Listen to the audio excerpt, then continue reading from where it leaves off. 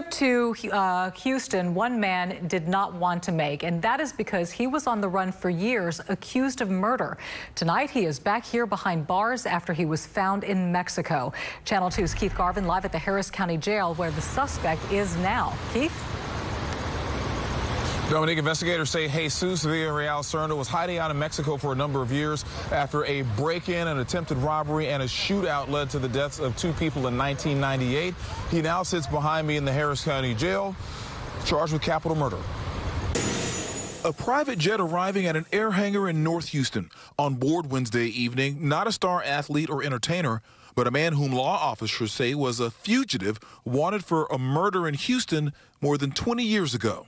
Mission accomplished. 50 year old Jesus Villarreal Serna, escorted in his beige inmate uniform and face mask, is walking on Houston area soil for what is believed to be his first time in years. The U.S. Marshal's Office says Villarreal Serna, his brother Saul, Austin Moore, and another man broke into an apartment in April of 1998, leading to a shootout that killed one of the residents and one of the suspects. Jesus Villarreal Serna at some point went on the run, but law officers with the U.S. Marshals Gulf Coast Fugitive Task Force were able to track him down in Monterrey in the Mexican state of Nuevo Leon. And I cannot stress enough to you how much an effort this took I mean, think about it 20 years worth.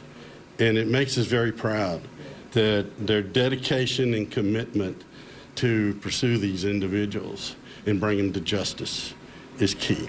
Villarreal Serna went from a plane to an SUV waiting to take him to the Harris County Jail. Investigators named him as a suspect in 2011, and he actually was arrested this past February. Extradition took three months, but the U.S. Marshal says it was worth the wait. The history of the U U.S. Marshals is you can run, but you can't hide. So don't think that was in the back of his mind.